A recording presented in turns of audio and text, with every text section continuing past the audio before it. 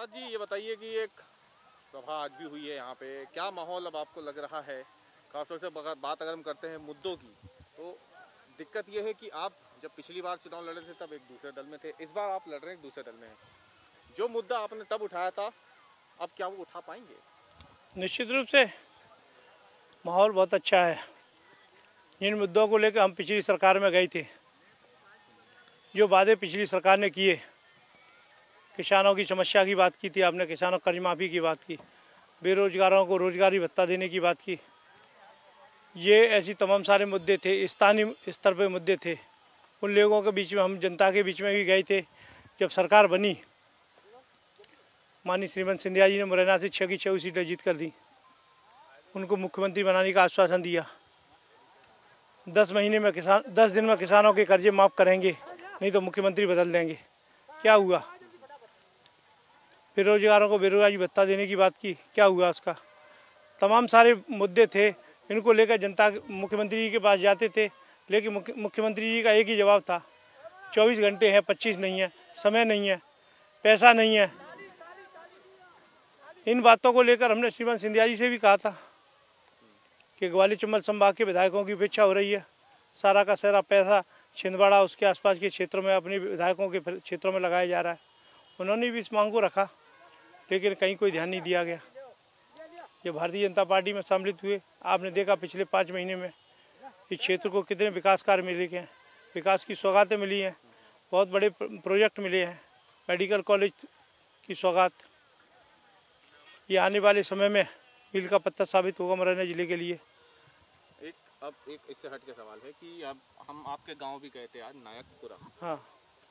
एक आपको लगता है इसके पीछे की कि वहाँ क्या मतलब ऐसी वहाँ के पानी में ऐसी क्या खास बात है कि वहाँ से विधायक ही निकलते हैं? वहाँ माता का आशीर्वाद है। हमारी माता है, मड़वाई माता। वहाँ जो मांगा वो दिया। जिसने जो मांगा है, वो दिया।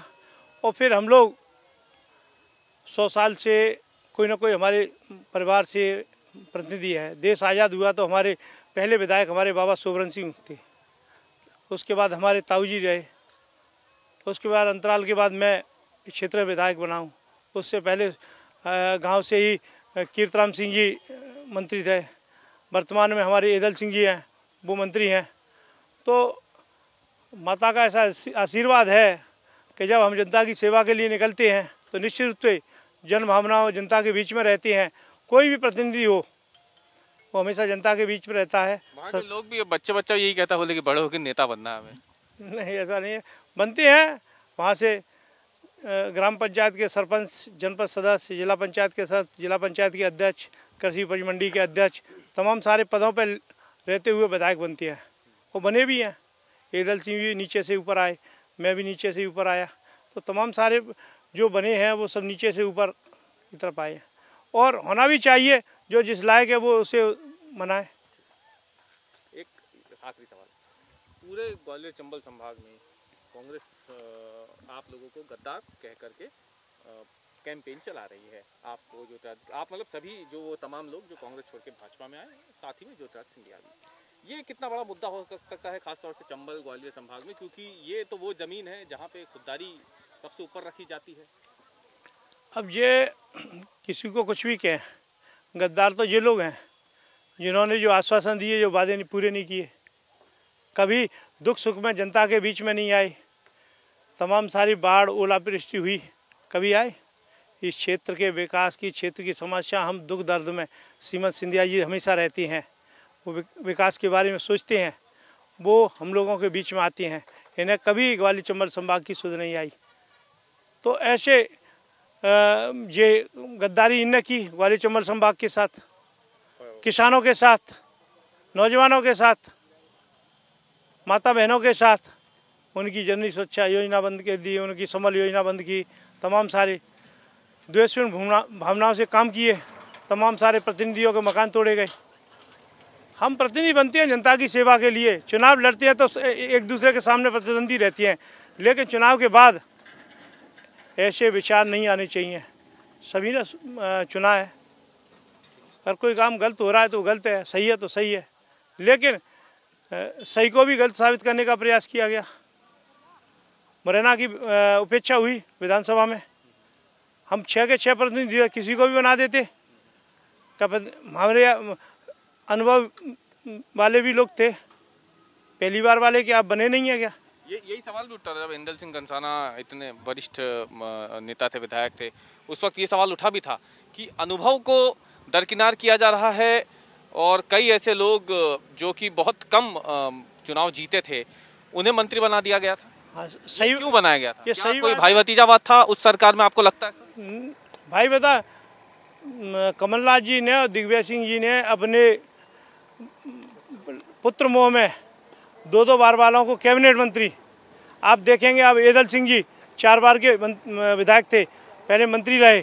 आपने देखा के पी सिंह जी पाँच बार के एमएलए थे मंत्री रहे। बिसाई लाल साहू जो कैबिनेट मंत्री रहे और वो पाँच छः बार के एमएलए थे। आपके तमाम लक्ष्मण सिंह जी, आपके डग्गी राजा जो चार चार बार वाले थे, उनकी उपेक्षा की और जो दूसरी बार वाले थे, उनको सबको कैबिनेट मंत्री अनुभव विहीन मंत्रिमंडल था। इनको काम करने की सोच ही नहीं थी, पहली बार मंत्री बने। तो विकास कार्य कैसे हो? एक आखिरी सवाल बस ये कि वैक्सीन को लेकर के देश भर में चर्चा चल रही है, दुनिया भर में चर्चा चल रही है कोरोना की वैक्सीन। अभी चुनावी सभा में आप लोग भी कोरोना की वैक्सीन का वादा कर रहे हैं। आपको लगता है कि ये वैक्सीन का जो मुद्दा है, चुनावी रेवड़ी एक तरीके से कहा जाता है, ये काम कर जाएगी? आप लोगों नहीं, रेवड़ी नहीं है, प्रक्रिया चल रही है। निश्चित रूप से वैक्सीन आएगी। जो बीमारी, महामारी है, उसका पूरे विश्व में व्यापक पैमाने पर उसका शोध हो रहा है। और आने वाले समय में इसका दिसंबर या जनवरी, फरवरी में निश्चित रूप से वैक्सीन आएगी। आप भी देखते हो, हम मीडिया के माध्यम से देखते हैं।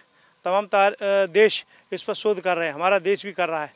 माननीय मुख्यमंत्री जी ने आज कहा है कि वैक्सीन जैसे ही आएगी हम पूरे मध्य प्रदेश के लोगों को मुफ़्त में ही वैक्सीन लगवाएँगे।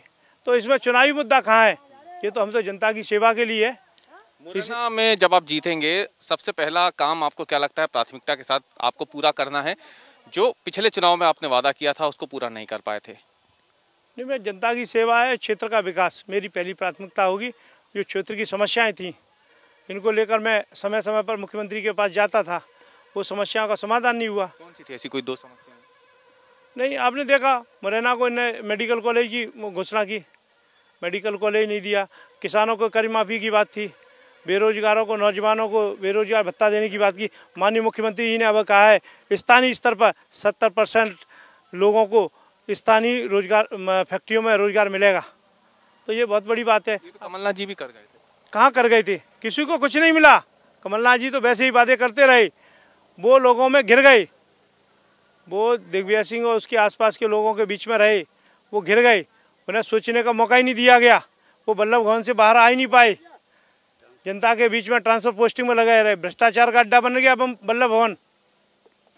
जो लोग बैठे थे, जो रिटायरमेंट वाले लोग थे, वो वहाँ कर रहे थे। आपने देखा होगा, महसूस किया होगा, बल्लभ भवन में जो लोग रिटायर हो गए थे, उनको ज़िम्मेदारी दी गई के लिए कि उनको अनुभव था पैसा इकट्ठा करने का। ऐसे लोग थे वहाँ, सब लोग जानते थे। उसके बाद भी ट्रांसफ़र पोस्टिंग धड़ाधड़ चल रही थी। अरे, मैं जो कहता हूँ, जो किसी गरीब का बच्चा है, पुलिस में है, उसका ट्रांसफ़र होना चाहिए, शिक्षक है, उसका ट्रांसफ़र होना चाहिए।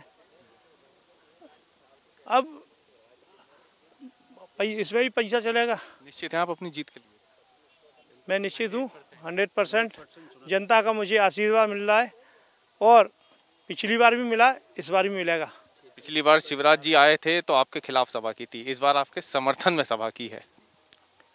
पिछली बार हम दूसरे दल में थे इस बार हम अपने दल में हैं साथ में हैं।